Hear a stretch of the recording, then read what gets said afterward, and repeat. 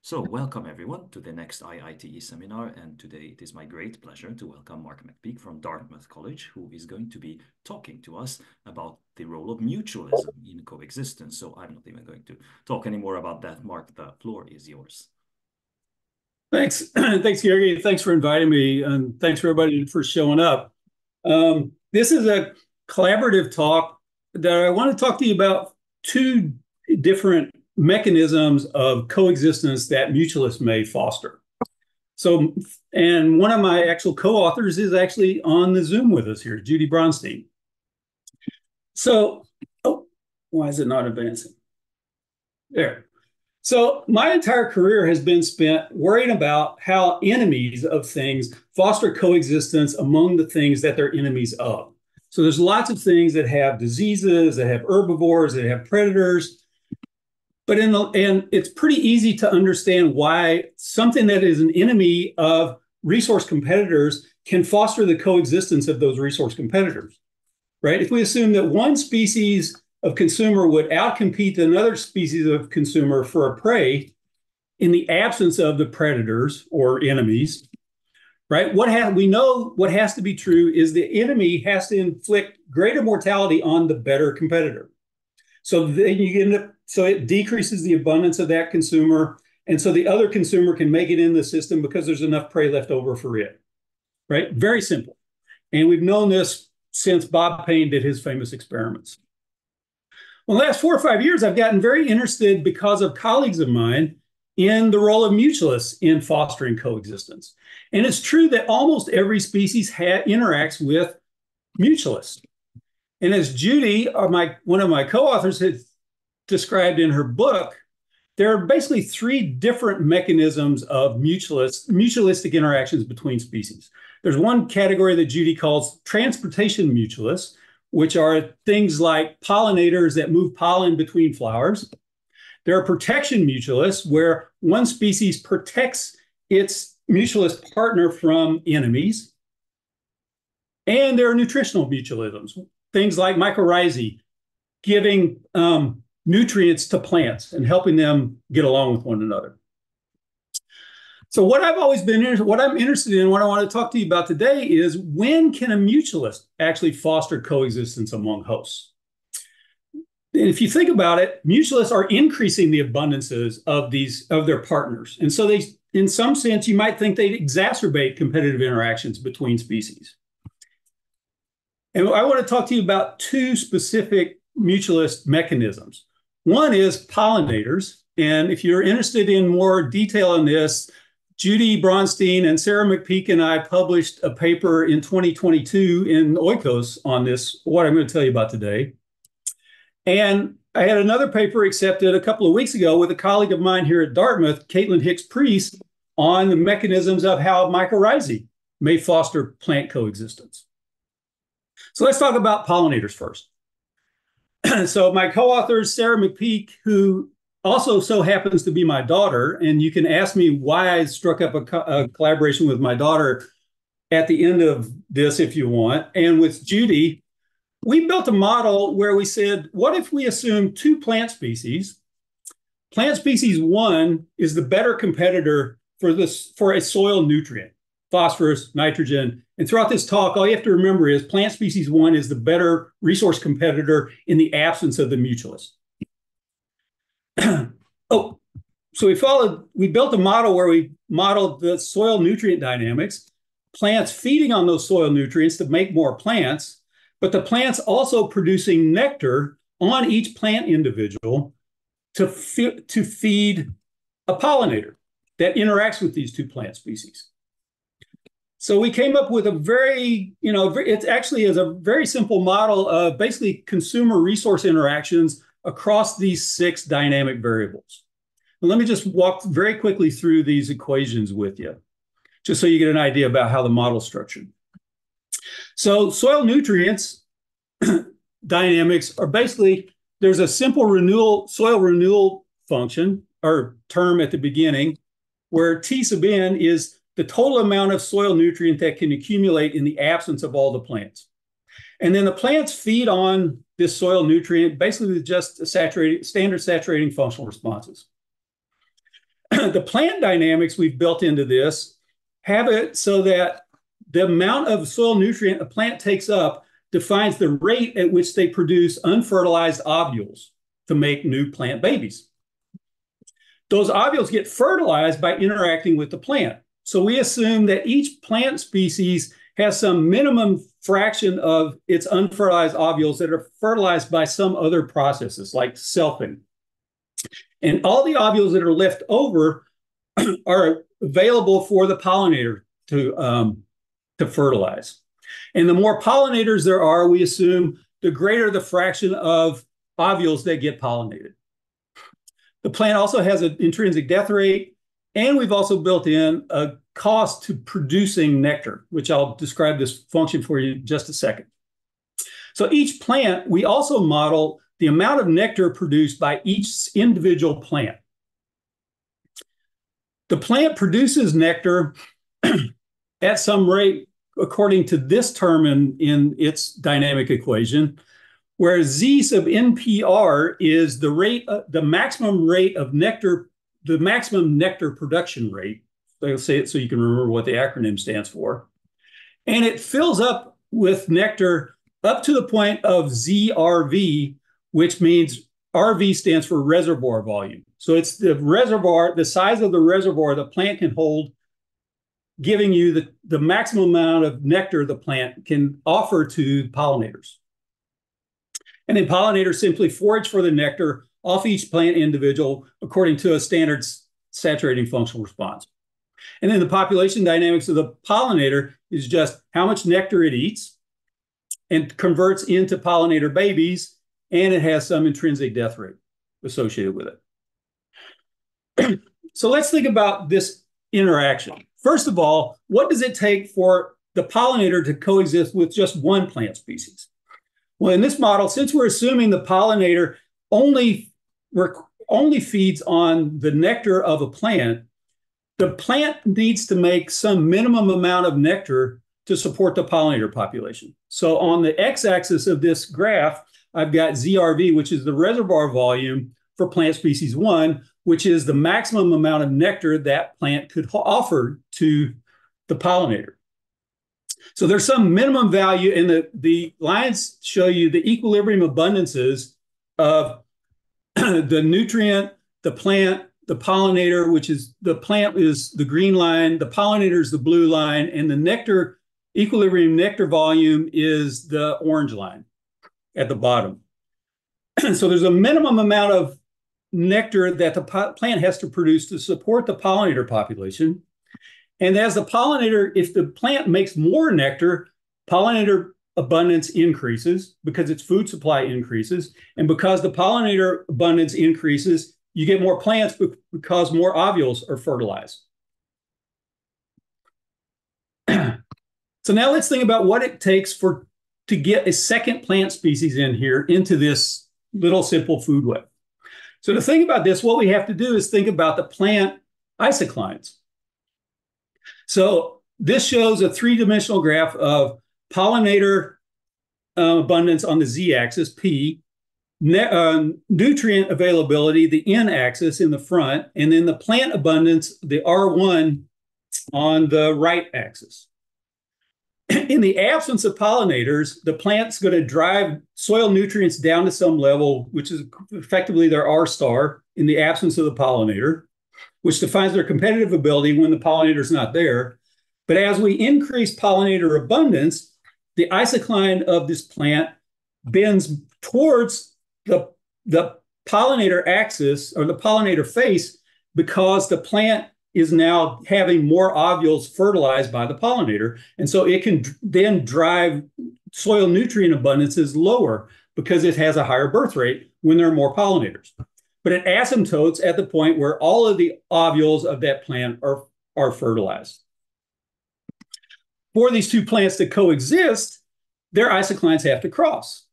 What that means is that one plant has to be a better competitor in the absence of the pollinator, but the other species, the poorer competitor in the absence of the pollinator, has to, number one, be more pollen limited than the first species, and number two, has to receive a greater benefit from interacting with the pollinator. So that means it has a sharper curve in that isocline so that the two isoclines cross.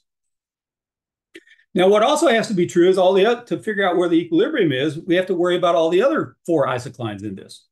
The two that are really critical are the pollinator isocline, which is the blue line, and the new, the soil nutrient isocline, which is the sort of yellow line. And it's they have to cross in the plant R1, R2 subspace. Now, the pollinator isoclines intersect the plant axes at the point where the plant, the pollinator can support a population at that with only that plant present. Okay, is this clear? So let's think about two scenarios. First of all, so through, as I said, through all this, R1 is going to be the better resource competitor. Let's consider a situation where R2, the second plant species, cannot support the pollinator on its own. So, and what I've showed you here are the equilibrium abundances of all six players in the system. And the x-axis is the reservoir volume of plant species one, the better competitor. And so that's how much nectar the better competitor can offer to the pollinator.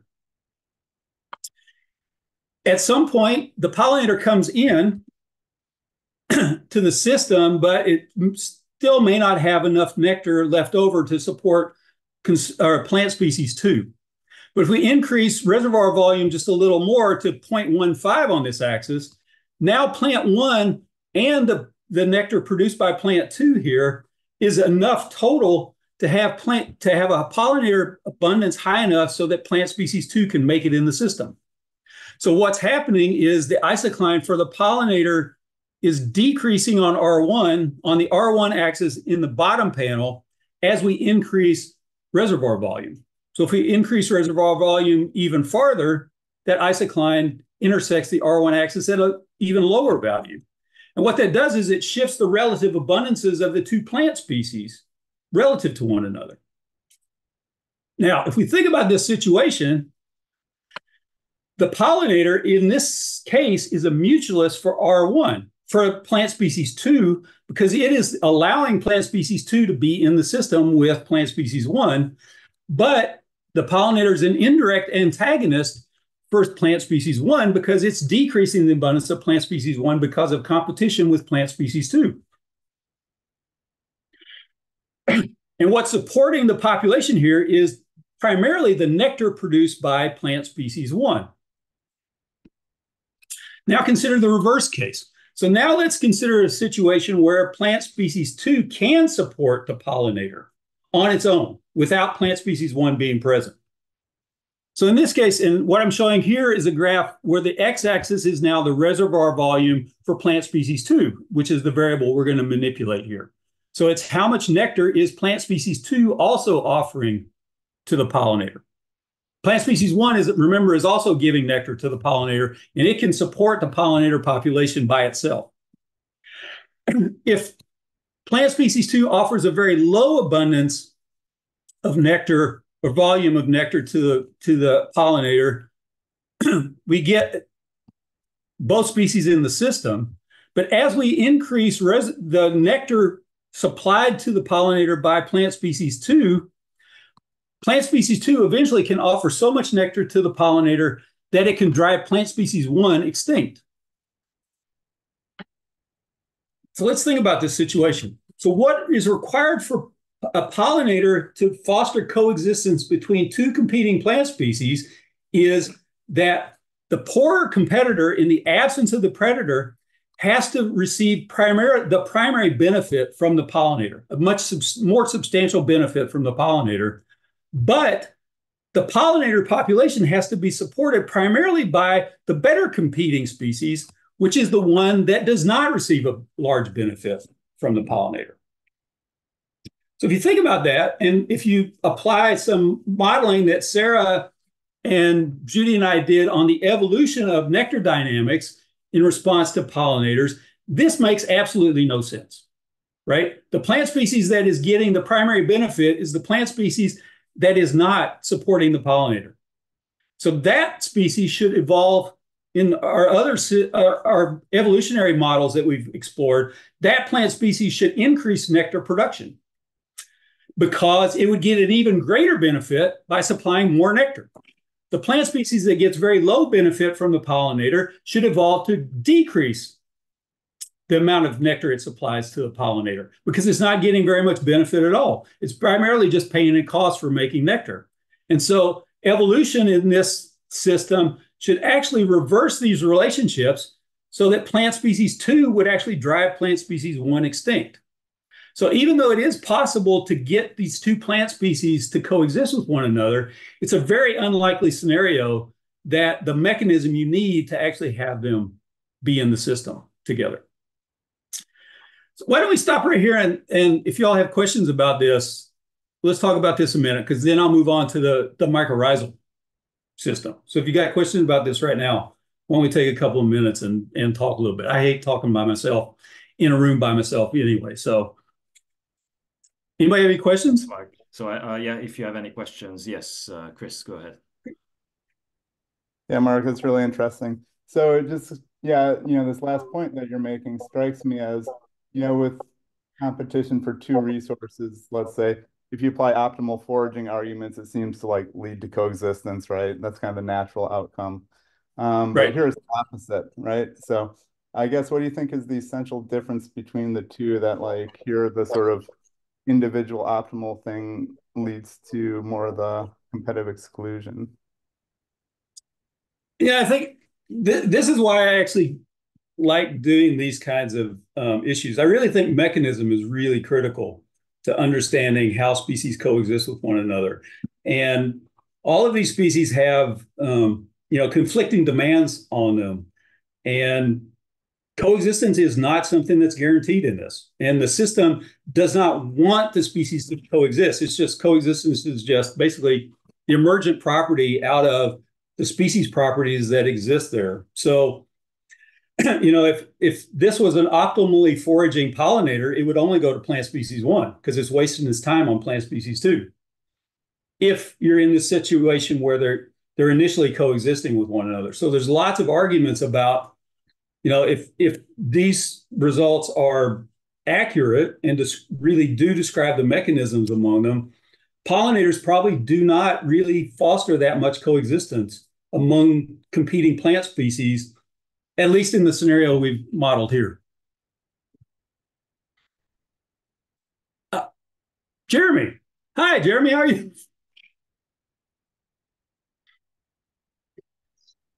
Hi, Mark. Uh, greetings from Florida.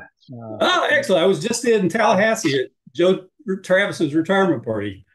So, uh, so, um, so I'm going to ask you the question that I I feel like if my uh, recently retired colleague Lawrence Harder, pollination ecologist Lawrence Harder, were here, he would ask you, um, how do how do the assumptions in your model kind of line up with what we know about things like uh, the frequency of like pollen limitation versus ovule limitation of plant repro- of plant reproduction? Um, I not, I, not that the scenario here is you know I don't think it's a totally implausible one, but just how do you think about like because we have a lot of experiments on like prevalence of pollen versus like ovule limitation. How does that line up with the scenario you're considering in this model? You'd really have to ask a plant biologist, and I would defer. Maybe Judy wants to jump in on this, but you know, people tend to. This is the other the other reason I like working on these mechanistic models is people they put together traits of species that people usually don't study in the same context, right? Pollen limitation, people people study who study pollination study pollen limitation and attracting pollinators and floral displays and all that sort of stuff and reproductive outcomes, but they don't study the competition of the plants. And people who study plant competition don't study pollination interactions. And so part of why I really like doing this is making people think about okay, you really got to put together different, very disparate sets of traits to actually understand the mechanisms of coexistence here. Right. So if you were going to if I was going to take this out in the field and do a study on a co-occurring plant species, right? I'd need to know what are the competitive relationships among those plant species for whatever nutrients they're competing for. And I need to know what pollinators are coming to them. Are there shared pollinators on them? And what's the degree of pollen limitation in them? Right. And the prediction here would be poorer competitor, if the pollinator is actually promoting coexistence, the poorer competing species for soil nutrients should be the ones that are more pollen limited. And so get a greater benefit from that, those pollinators. But, you know, I don't know of any studies where people have put those really disparate sets of traits together, right? People work on, I go out and do my de Wit replacement series looking at plant competition, or I go out and I bag flowers and I put move pollen around and see how limiting it is. And never the twain shall meet. But somebody should do it. uh, Washington? Yeah, hi, thanks. Uh, what you described is quite interesting. So, if I understand, you're saying that mathematically you can construct a scenario where a pollinator can foster coexistence, but you don't expect it to arise evolutionarily. Um, right. So, I guess I have two two linked questions. The first one is related to Jeremy's question and your response to that, which is to what extent this can be observed out in the field. And it sounds like you haven't done those studies. Um, but uh, the second question is, would you expect this might be something you could see in the case of an invasive? If you went out and looked, you might not find this in a well-evolved ecology, which has been stable for millions of years, but or you know a long time. But if you found an invasive species, it might actually be able to enter into this situation where it could take advantage of a plant which was already producing a lot of pollen. So I'm wondering right. if you've thought about looking for it in terms of invasives. Uh, I work on damselflies, so at this point, I've just gotten involved with with doing working um, on these mechanistic models of the interactions, and I haven't really thought about taking it out at all. And I haven't done field work in ten years, so somebody I'm trying to encourage my plant ecology buddies to actually do some of this. My daughter's working on actually working on on the evolutionary components of these models we've been we've been building, but yeah, it's it's I use it, I think of it more much more as a sort of signpost that we need to start looking at the organism as a more integrated interactor within the entire community that it finds itself in and not just go, well, I work on pollination, so I don't have to worry about competition. Or I work on competition, I don't have to worry about pollination. But you're right. The in, the initial um, invasive species may be someplace to look at. But you could also imagine the case where the invasive species is actually not a very good competitor, but it actually makes a fair amount of, of nectar and it boosts pollinator abundances to enough. So it's that may be a component of why it, an invasive may be driving other plant species extinct. Mm-hmm. Right? Because the you know the other the, the people who worry about like me who worry about coexistence often only worry about the coexistence part about it, and they, we don't think about the flip side of it, which is the competitive exclusion side. Right? If you can predict when species coexist, you're also predicting when species are not coexisting with one another and what it takes for them not to coexist with one another. Great, thanks. Yeah. Thank you. Uh, are there any other questions? Uh, Judy, I don't know if you wanted to add anything to that.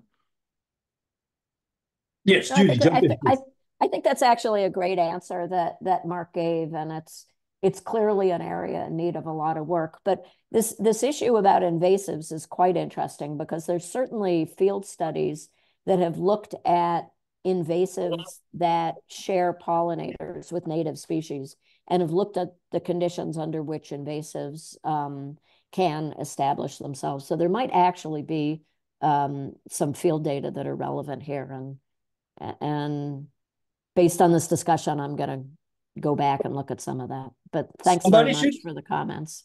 Somebody should do that, Judy. Anything else about this one? Any other questions? No. Well, let's move on to um, mycorrhizae. so, th in the second part here, this is another paper that that just got accepted a couple of weeks ago to Ecology that um, uh, Caitlin Hicks Pries, who's a associate professor here at Dartmouth with me. Caitlin actually works on mycorrhizal fungi, which is why I brought her in on the paper because I don't know anything. I know even less about mycorrhizal fungi than I do about pollination. So if we think about the interaction between plants and their mycorrhizal fungal partners, it's a really complicated system.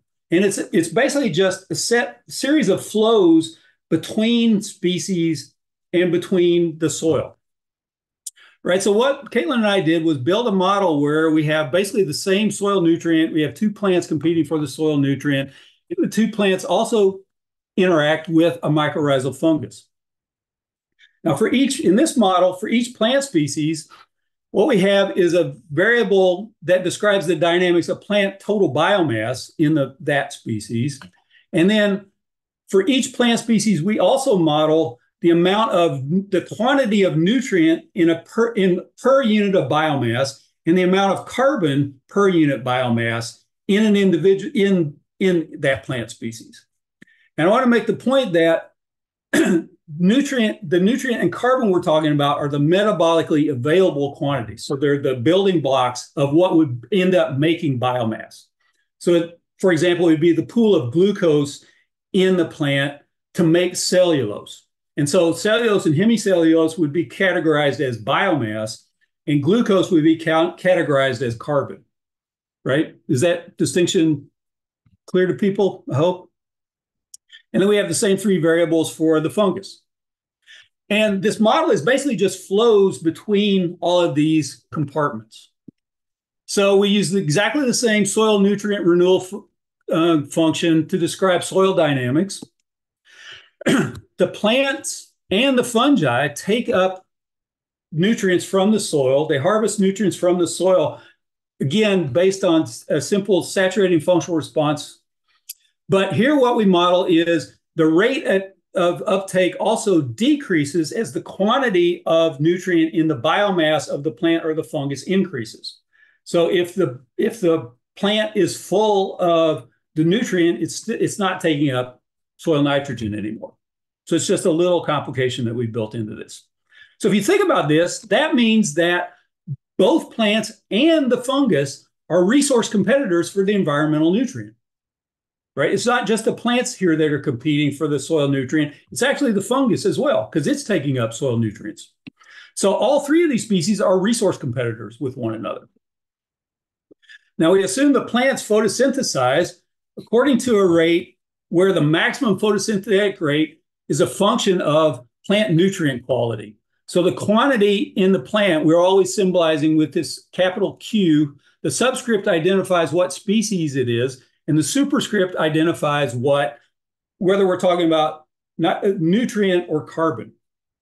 We also assume that the plants decrease their photosynthetic rate as total plant biomass increases. So effectively, they shade one another out and decrease photosynthetic rate. But we, here we assume that the two plants are equivalent competitors for light. So it's not light competition that's fostering their coexistence at all. They're equivalent competitors for light we also have built a model so that mycorrhizal, the fungus, also can harvest carbon from the soil. But in this, so that would be something like an ectomycorrhizal species. But for what I'm talking about here, we're just going to assume that the fungus gets all of its carbon from the two plant species. And so what we're talking about in this right now is basically an arbuscular mycorrhizal species plants and the mycorrhizae produce biomass according to the multi-compound Droop dynamics that we're assuming.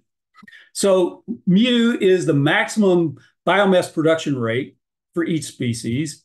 And then that rate decreases as the quantity of both nutrient and carbon in the tissues of that individual decrease. Right? So in this model, all species are simultaneously nutrient and carbon limited. And so th- that may shift given the quantities of those two elements in the tissues of the species. the plants take nutrient from the fungus. This is why they're interacting with this mycorrhizal fungus to get nutrients as a second source. And in addition to taking up soil nutrients. And we have exactly the same dynamics for this, but this also means that both plant species are resource competitors for the fungal nutrient pool. and the mycorrhiza takes carbon from both plant species, right? So this is the standard interaction between mycorrhizal fungi, fungi and plants. The plant supplies the fungus with carbon, the fungus supplies the plant with nutrient. But this means that the fungus is actually mediating apparent competition between these two plant species. So as you can see, there's a really complicated circuitry of interactions between these three species. So just to give you an idea about the full set of the 10 differential equations in this model, here's the equation for the nutrient. The first term is just soil renewal. The next two terms are foraging by the plants and by the fungus for soil nutrients, taking them out of the soil. And the last two terms are a, um, a return of nutrients back into the soil pool when plant biomass and fungal biomass dies. So that's those are proportional to the death rates of each one. So there's there's basically a recycling of carbon and or of night of nutrient back into the soil when plant and fungal biomass dies. For plant biomass, we have the photosynthetic rate is the first term, and they have a standard um, intrinsic death rate. For the nutrient quantity in per unit biomass of, each plant, we have the amount they take up from the soil is the first term. The second term is movement of the nutrient out of this pool into the biomass pool. So this is basically just loss of, of glucose in the body or of um, nutrient in the body when it gets incorporated into biomass. And then the last term is taking the nutrient from the fungus. For carbon dynamics within the plants, we have the same thing. We got photosynth photosynthesis for the first term. The second term is removing carbon from this pool and putting it into biomass. And the third term in that is um, moving carbon, carbon being taken away by the fungus, feeding on the plant. And then we have comparable equations for the fungus. So let's think about what the dynamics of this are. So here what I've shown you is, let's first again think about just one plant species coexisting with the fungus, right? What does it take for these two species to coexist? so what I'm showing you here is a figure of where the, the y-axis, the vertical axis is the total amount of soil nutrient available at it for a given environment. And then the the horizontal axis is the maximum uptake rate of the mycorrhizal fungus taking up nutrient from the soil, right? So it's basically com com competitive ability of the fungus. And this dashed vertical line very near the y-axis is the value of plant species, the maximum rate at which plant species one takes up soil nutrients. And this just shows you the areas where only the plant can is in the system. And then farther on the right are is the area of parameter space where the plant and the mycorrhizal fungus coexist with one another. And what you take away from this is that for the mycorrhiza to coexist with the plant, the mycorrhiza has to take up soil nutrients at a much higher rate than plants do. Right? They're competitors for this soil nutrient, and the plant's also eating the soil, nu- the nutrient in the mycorrhiza. So the mycorrhiza has to take up soil nutrients at a much higher rate than the plants do. And that's one of the things that empirically has been demonstrated in real systems. Now, we can also think about, um, we understand some of the dynamics in this interaction by looking at the abundances of these three variables over a transect, that vertical blue line at 2.5 on the, the rho MN axis, right? That is just, we're just going to run a transect of soil nutrient availability from very from zero up to 200. In the right panel, the top panel on the right is the equilibrium abundances of these three entities.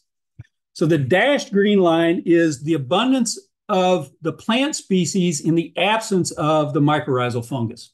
And the solid green line is the equilibrium abundance of the plant species in the presence of the mycorrhizal fungus. The red line is the mycorrhiza, and the blue line, the blue curve is the soil nutrient availability at equilibrium. So at really low soil nutrient availabilities, the plant increases gets an increased abundance because of the presence of the fungus, right? It's a mutualist. So the plant has a higher abundance in the presence of the mutualist than it would if the mutualist was absent. But as we increase soil nutrient availability, when we get to very high abundances, the, the mycorrhiza actually becomes a parasite of the plant, decreasing its abundance because mainly it's foraging for carbon from the plant, right? And this is a standard result that people see all the time in field experiments, where at, if if you augment nitrogen or phosphorus in soils when plants are compete are interacting with their fungus, they shift from being mutualists to parasites. This is because if you look in the in the bottom panel, what I'm showing you are the quantities of nutrient and carbon in the two species. So the solid line, the green lines are for the plant. Um, the solid lines are for the nutrient, and the dashed lines are for carbon and the red is for the mycorrhiza. So at low soil nutrient availability, both species are nutrient limited. But as we increase soil nutrient availability to high values, the plant and the mycorrhiza both shift to being carbon limited. So that's what's the shift between being the mycorrhiza being a, mutualist to being a parasite on them. now, it is possible for the plant to actually drive the fungus extinct. And the way it drives it extinct is if the plant takes too much nutrient from the fungus. So here what I'm showing you is the vertical axis is the rate, the maximum rate at which the plant species takes soil nutrients up. The horizontal axis is the rate at which plant the maximum rate at which plant species one takes nutrient from the mycorrhiza the NM superscript means nutrient from mycorrhizal species. And you can see there's this really just wedge where the two species can coexist with one another. If the plant takes has a too high of a rate of extraction of nutrient out of the mycorrhiza, it will actually drive the mycorrhiza extinct. So you can't just assume that a, a single mycorrhizal species and a single plant species are going to coexist with one another right? There's interactions between those two that have to be held true.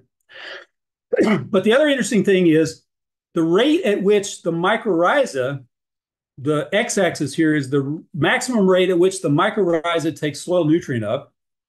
By the mycorrhiza taking up soil nutrients, it increases plant abundance. So standard with the mutualism, the better the if they can coexist, the better the mycorrhiza taking up soil nutrients, the better it is for the plant because it can now supply more nutrients through that pathway as well. So let's ask the question now about let's bring the second plant species in. What does it take to get two plant species in here? so what I'm showing you here are the axes are both parameter values we're manipulating for plant species one the vertical axis is soil nutrient uptake rate. The horizontal axis is nutrient uptake rate from the fungus. And the two dashed lines show you the fixed values we're having for plant species two. So you can see this wedge here uh, where the three species coexist with one another, right? What is true about that wedge is that plant species one is has takes up soil nutrients at a higher rate than plant species two does. So we're just that's just the assumption of plant species one is a better competitor for the soil nutrients. but what is also true in this wedge is that plant species one gets less nutrient from the mycorrhiza. So the micro plant species two is the better competitor for the nutrient from the mycorrhizal species. So effectively, what is required for these two plant species to coexist with one another is one has to be better at extracting nutrient from the environment, and the other has to be better at extracting the nutrient from the fungus. that is as well something that's very commonly seen in studies of plants and mycorrhizae. The two plants, the rate at which plant species two gets nutrient from the plant determines the relative abundances of those two plants. Right, so here what I've shown you is the equilibrium abundances of these four entities in the model, the abundances of them. And the y or the x-axis is the rate at which plant species two takes nutrient from the mycorrhiza. Right? So plant species two gets outcompeted at very low rates of taking nutrients from the fungus because but because it needs a minimum amount of nutrient from the fungus to actually just be in the system. Once it achieves that, increases in the rate at which it takes nutrients from the fungus, increases its abundance, and decreases the plant the plant one's abundance. But eventually you shift the changes in relative abundance because that also decreases the abundance of the mycorrhiza. So now there are fewer mycorrhizal, there's less mycorrhizal biomass to feed plant species two, the more plant species two takes nutrients away from the fungus. Now, what's true here, though, is that you can increase this rate of taking of plant species two from the fungus to very high values, and you're not, but the plants will still coexist with one another. You just greatly shift the relative abundances. But in this case, plant species two is a mutualist with the fungus, but plant species one is a paras is or, or the mutualist is a parasite on plant species one. So plant species two is getting a benefit from interacting with the mutualist. Plant species one is getting is getting a fitness decrement from interacting with the mutualist, at least in terms of its abundance. And that's a result that's also seen very commonly in in um, field experiments where people compete plants in the presence and absence of fungi. now, here what I'm showing you is the x-axis is the rate at which the fungus takes up nutrients from the soil. This also influences the relative abundances of those two plant species. But because of the apparent competitive interactions between the two plants that's mediated through the fungus, if the fungus has a high enough rate of soil nutrient extraction, it can actually drive the better plant, the better competitor in the plant extinct and foster only the poorer plant competitor to be present in the system. this is also true for carbon extraction. So here what I've shown you is the same relationships except for the x-axis is the rate at which the fungus is extracting carbon from the two plant species. And here I'm assuming that it's extracting exactly the same amount, at exactly the same rate from the two plant species.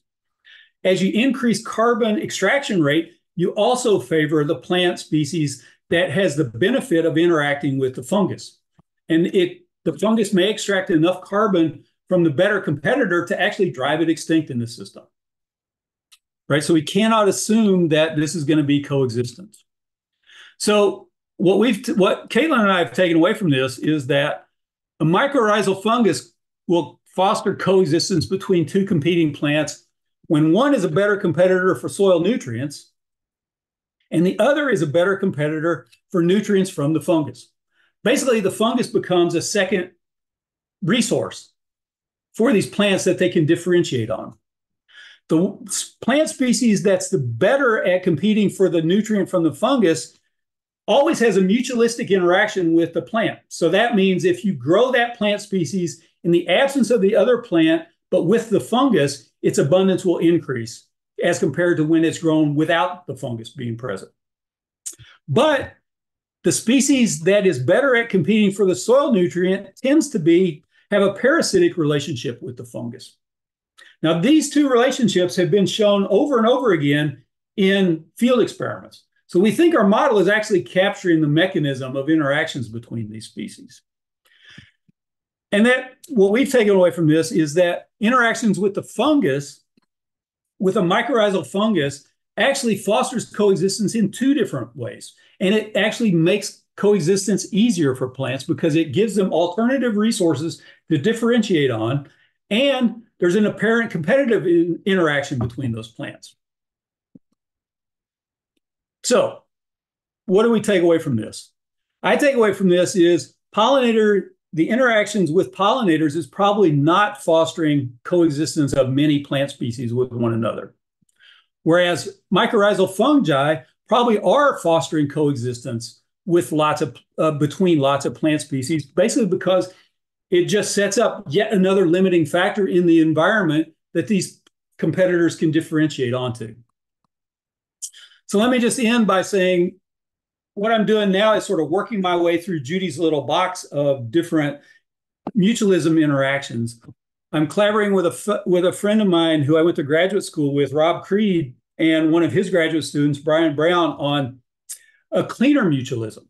So crayfish have these. If you look in these in the pictures on the right in the lower left of this crawdad, they have these little worms on them, and those worms forage aufwuchs that grow on the gills of the crayfish. By the worms eating the aufwuchs, all the bacteria and algae that grow on top of the gills, respiration rates are higher for the crayfish and they have higher growth rates.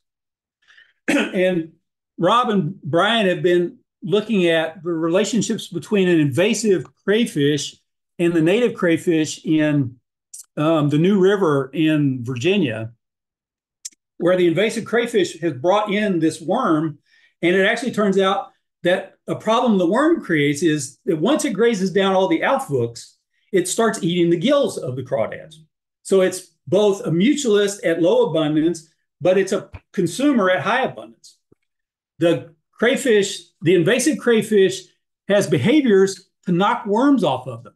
And so they can keep the abundance of the worms low. But the native crayfish don't have this behavior of cleaning of knocking the worms off, and they get a great fitness decrement when they get worms on them. So this goes back to the invasive species things we were talking about before. And another project I'm working with is another faculty member here in at Dartmouth is we're looking at back, he works on um, bacterial cross feeding in um, biofilms.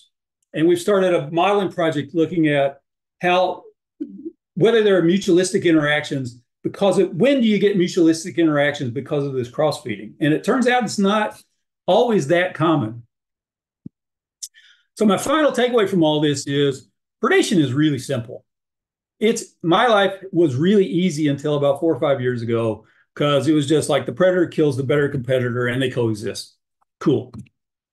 Mutualisms are really complicated. And what I would also argue is the mechanism really matters, that you really have to understand the intricate interactions that are going on between these species and how they're benefiting and decrementing the fitnesses of their partners to actually understand when a mutualist would foster coexistence. So, with that, let's talk.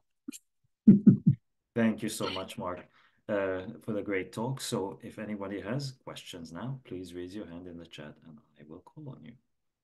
Uh, Steve, poking yep. Uh, that, that, if you're talking to me, that was a clap, not a raised hand. Oh, okay. but Géza has a question. Oh, Géza has a question. Okay, uh, I like this very much, and uh, um, my question is that if you have uh, more than one uh, kinds of pollinators or more than one kinds of uh, uh fungi, uh, what will happen? Uh, either it, it is just like a single fungi, fungi and a single pollinator or an arbitrarily large number of uh, fungi or pollinators can maintain an uh, coexistence of arbitrarily large uh, plants, or what? What do you think about this? Right. I, so we we haven't gotten into adding more fungi or more pollinators into the system. So I'm not. My my intuition would say more fungi means more coexistence because there's more ways to. You can basically the way you interact with the species and the way you extract nutrients from the species makes every fungus a separate resource available to all the plants. And it just has to be the case that this plant species has to be better at taking nutrient from this fungus, and this plant species has to be better at taking nutrients from this fungus. Right. So so basically the fungi are just, you know, you're just adding more resource axes to into the system for exactly the same nutrient. Pollinators, I'm not so sure of. I've actually been thinking about um, you know, what would be the interesting questions adding new pollinators in? And Sarah and Judy and I have played around a little bit with optimal with building optimal foraging in for multiple pollinators to see if they would differentiate onto the plants based on feeding habits. Uh, but we haven't really played around with that very much. And my intuition about this is pretty bad at the moment. So hope that helps a little but, bit. Uh, can the plants uh, really distinguish distinguish between the different fungi or the fungi uh, di distinguish uh, uh, between the uh, different plants? Well, so so number one, the models we played around with so far do not have any of the control mechanisms built in that real plants have with modulating supply of carbon, particularly to mycorrhizal fungi. So this is basically just what would be the properties of a species if it, they were to coexist. But plants have all kinds of mechanisms where they can increase or decrease the flow rate or actually completely get rid of interactions with particular fungi um, that we haven't built into the model yet. Um, for plants, you know, you can imagine situations where there are lots of ways that plants attract different pollinators to them and get different suites of pollinators by what their floral architecture is, what sort of scents they're giving off, what kind of microbiome do they foster in the nectar they're supplying. So you can imagine lots of different ways that the plants could actually differentiate onto different pollinators too. Right. And I think that would get much more into multi-species plant communities where you try to end up with sort of compartments in the community where this small set of plants interact with this small set of pollinators. So that's what fosters their coexistence. These plants are now interacting with these pollinators to get them to coexist with one another. But the plants are differentiated because they're now interacting with different sets of pollinators because of who they're trying to attract. Right. So all this, the other interesting thing, why I've always liked community ecology too, is that it becomes this sort of nesting dolls on one another. You can't just think about one particular interaction, right? And you can't think about just a pair of species because they're embedded in this entire food web and they've got to interact with everybody. Jonas, should I call on people or Yuri, you want to call people? By all means, of course. Oh. Jonas. All right. Uh, yeah, thanks. Uh, thanks, Rob. It's very interesting. So, sorry if I missed you explaining this, but in your first like bifurcation diagram of the single plant with the with the mycorrhiza, uh, you had this like region of only plant one sort of jutting out into the diagram, so that you would have like coexistence for low supply and high supply, but not intermediate supply. So, I was just kind of curious about what was going on there. Is it like mutualism at the bottom, parasitism at the top, and then like in the middle you can't work it out? Right. Um, so let me show you this again. So you're talking about this slide here. Right, exactly. So, so sort of at the rho m equals 1.5, say, we have like right. Uh, you have this big jut. Yeah, yeah, exactly. So, so what? Why is that? That's that's kind of weird. Well, what happens in the model? So, if you look at the abundance relationships for the mycorrhiza, at very low um, nutrient availabilities, the mycorrhizal abundance actually decreases. And it doesn't start increasing, at least at this set of parameters, uh, until you get to a TN value of about 50. And then mycorrhizal abundance increases. But from zero to 50, the mycorrhizal abundance is actually declining. and so if you run a transect from one at, at, at rho mn of one vertically, you get the mycorrhizal fungus in this wedge at the very low values of Tn, but the abundance of the mycorrhiza declines until it goes extinct.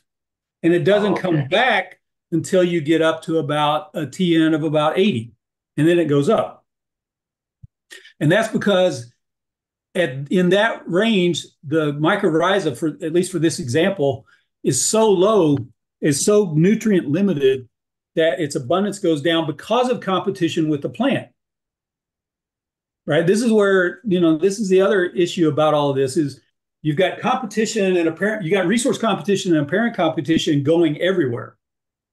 And you get these sort of emergent issues out of it. And I've run this for a, a number of different parameter sets, and you always see this little jutting at sort of intermediate values of TN. All right. And it's basically because of competition for the soil nutrient with the plant. Other questions? Yeah, any other questions?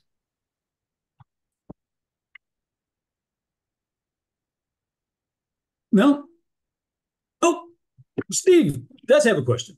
Or are you clapping again? No, I'm no, no. This time it's a question. So Okay. after your after your after the first part, I was expecting there to be an evolutionary story at the end of your second part, but there wasn't.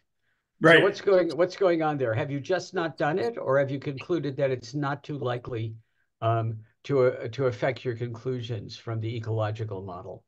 No, I've just started it. Um, so the way all this, so my interest in all this started because my daughter Sarah started graduate school in tw- in the fall of 2019.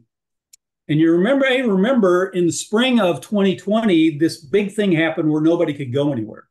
So she had her whole first field season planned out at Mountain Lake Biological Station to go up and start working on a plant pollinator system up on top of the mountain.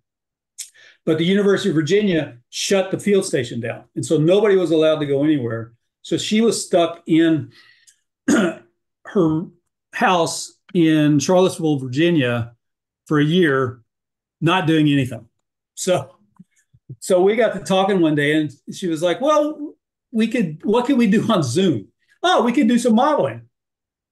And so I said, Well, I don't know anything about this. Let's get Judy to help us. So we brought Judy in, and the three of us put this model together. And the first two or three papers out of this was the evolution of the plant producing nectar for the pollinator and how they should respond to different pollinators.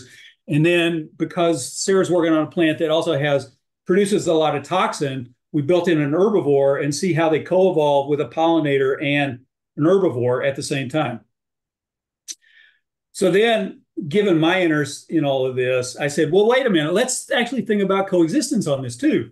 So I went off and took the, the coexistence part of it through the evolution away because that would make it too complicated and looked at what we talked about uh, at the first part of the talk. And then I got interested in just let's work through all these mechanisms. So then I started on the mycorrhiza, and I've just gotten th- we've just gotten through the the ecological part of it. And I started on the ecological part because my colleague actually works on mycorrhizal fungi in the field, and she was like, "Oh yeah, we can do that." So we're just now starting the evolutionary part of it for the for the fungi. There's also a really cool, I mean, for what mycorrhizal fungi plant people are really interested in are these control mechanisms about the plant turning up the spigot and turning down the spigot of feeding the mycorrhizae carbon. And when they choose to associate or not associate with different kinds of mycorrhizae. So the next, she wants to do the next part about sort of ecological controls on the flows between the species instead of the evolution part. She's not really interested. She's not an evolutionary biologist like me. So she's like, ah, okay, well, whatever. So we'll see where it goes, but we're still working on it. Great. Yeah, thanks. Any other questions?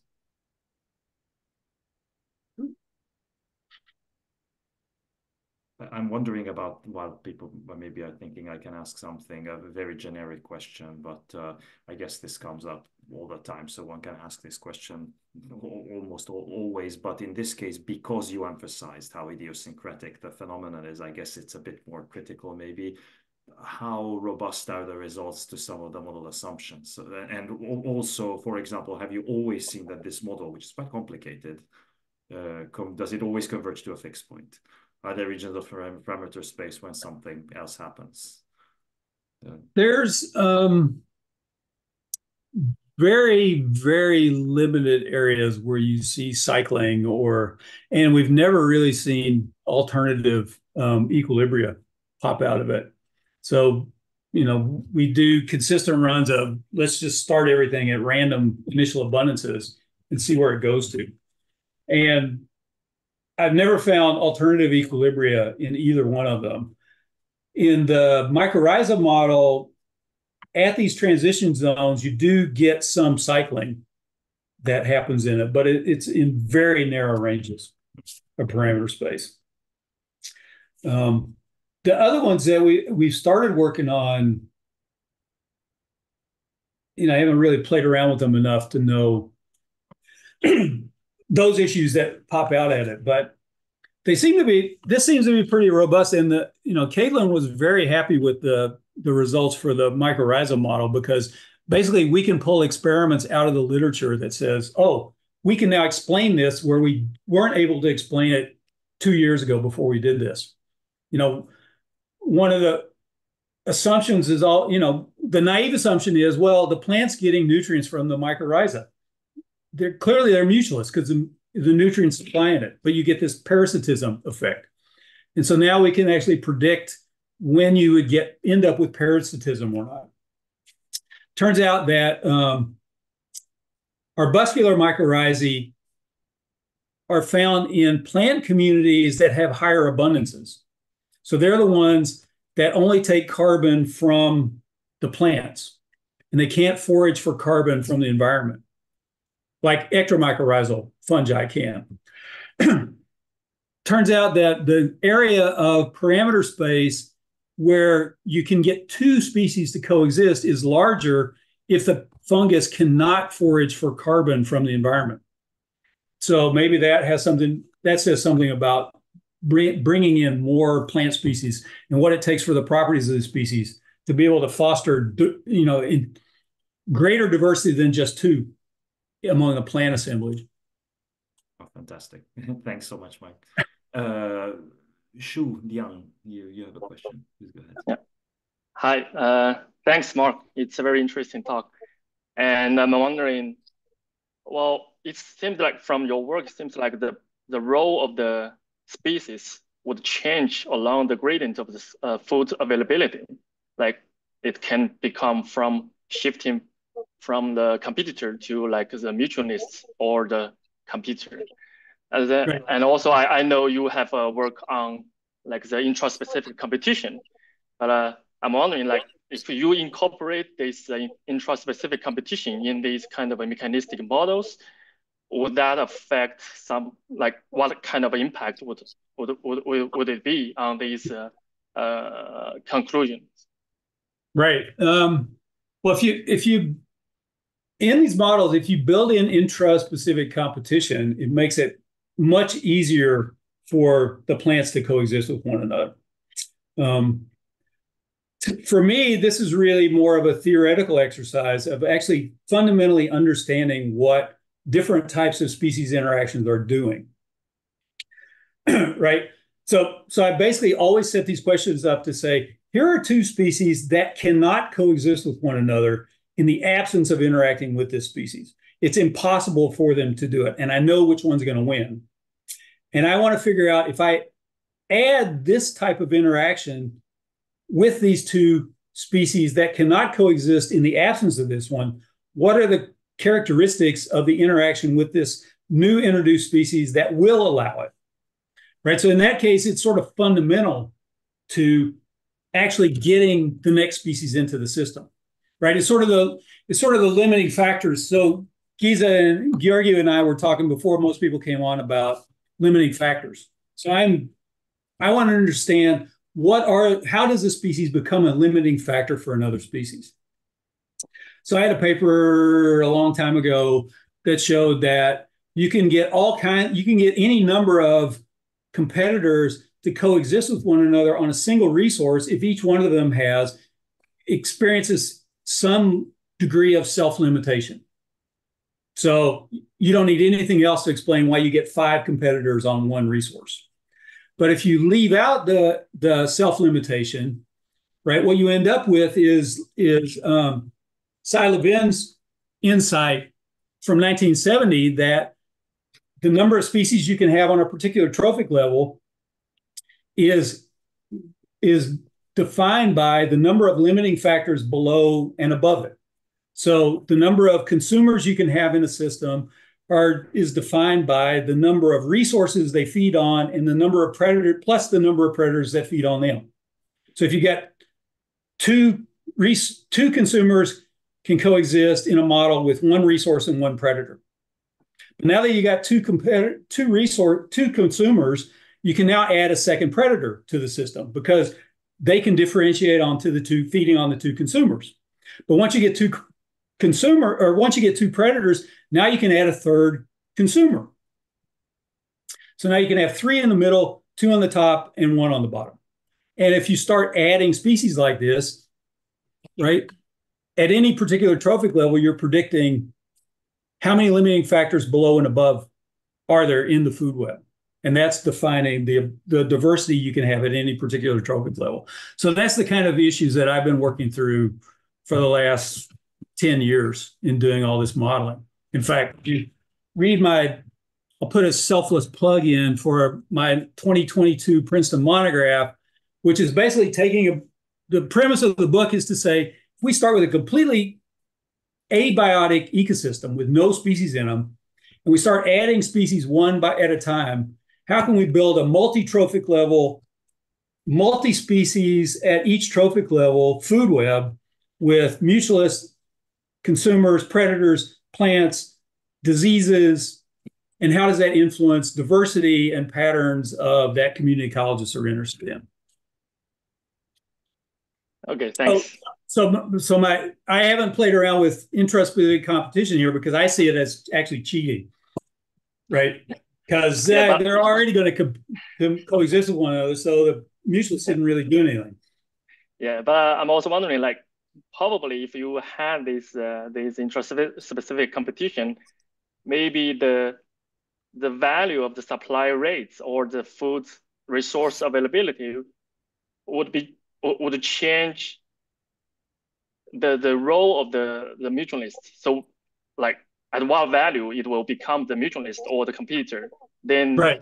this intra-specific competition, the strength of this intra-specific competition would change that value or the right. threshold, the boundary. Yeah. Okay, thank no, you. I think, you, I think you're exactly right about that. Oh, thank you, and and also thanks for bringing up the book, which I very much enjoyed. Uh, but uh, Liz has something to say about this. Uh, yes, uh, I also liked it very much, uh, uh your talk. Uh, and because of two reasons were this very interesting for me. one is that you emphasize that there are many traits, individual traits, which are not measured just because there is not a model or a um, a basic view uh, which uh, uh, makes uh, uh, researchers uh, to put together the complete picture and measure those things which are decisive if you look at the mechanism of competition. So that was one one thing. The, and the other thing is that that it is that you, ex- if I understand well, then you very explicitly uh, uh, measure uh, modeled the feedback loops.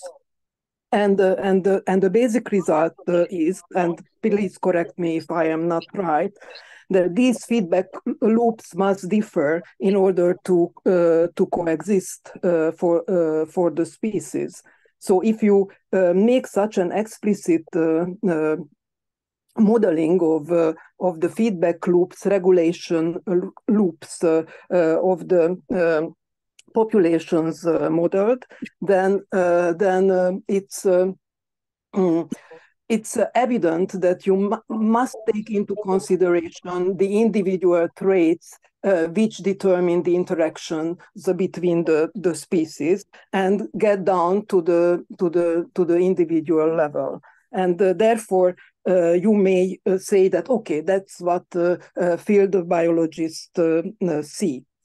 So my question is that um, that you start from specific models and then uh, you get uh, general results which are um, somehow self-evident uh, at least if i am right uh, to me. And uh, uh, why why don't you use the language of niche segregation separation of feedback loops? Because actually this is what you expect uh, that there will be so so the whole language uh, could be uh, get nearer to the field biologist uh, who uh, usually think in these terms much more than theoretical ecologists who are um, nowadays with the widespread popularity of the modern coexistence theory uh, just uh, getting extremely technical and getting uh, very far from the from the reality. So uh, I am I am very very very impressed and glad, and I am asking you whether why don't you use that language also? Um, it, it, it's sort of second nature for me. Um, so I actually don't really think about the language I use that much. I, if you if anybody's read the book, read that book I mentioned, um, you'll notice that chapter ten is a takedown of modern coexistence theory. And the primary problem I have with modern coexistence theory is that, in the application of it, is if it can predict whether species are coexisting, the only thing it can predict is whether the species are coexisting. And the whole premise of, the, of this monograph I wrote was to ask the question, why are these species coexisting with one another? Yeah, yes, yes. Right?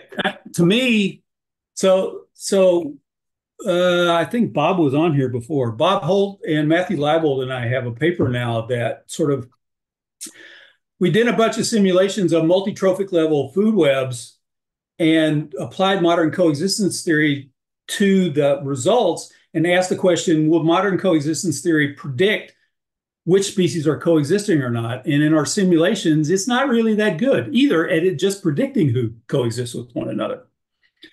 My background, I started this in, um, right, like I said, working on damselflies that both compete for resources and are fed on by predators. And so I actually came up in behavioral ecology and got interested in community ecology because it was basically I started working on what at the time we called the growth predation risk trade off that species face. If you're good at taking up resources, yeah, those yeah. are usually traits that make you bad at getting away from predators because they make you more conspicuous.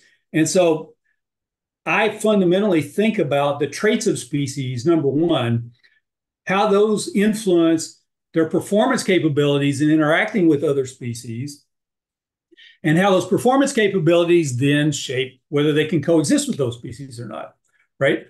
This prey can live with this predator because it can, you know, this gazelle can live with this cheetah because it can run a little faster than the cheetah can. And so it usually gets away. So that's this prey species that coexists with it. But if you had an antelope species that's really slow relative to the cheetahs, the cheetahs would drive that one extinct so you wouldn't see them together. So I'm sorry I'm not putting it in uh, the language a lot of people would, but I actually am just, it's second nature for me to start with the traits and the properties of the species and then ask the question about well, how does this influence their position and their ability to interact in this food web that they live in? And to also think about interactions with multiple types of species at one time. That's the thing that sort of fascinates me. Uh, I, I I think that it, it is not the language in itself important because if it is not operational, then it is not important. But uh, uh, but uh, uh, the possibility to have a, a much uh, to have a unified theory at a much higher level, okay, and a mechanistic one. Right. That's what we we try to work out, for instance, in our book. So you can see there that uh, yeah, yeah, yeah, but no one no one uses it. So that's that's the problem. And uh, and uh, so just to link this very so that therefore it is uh, uh very exciting to look at your models and just link them uh, to the to the general theory. Because then you have this all the feedbacks looped uh, um, just in front of you. And then you can see that okay in a general term how if you start from the general theory then what comes out of it. And then you will see that the same thing Right. Okay. Right.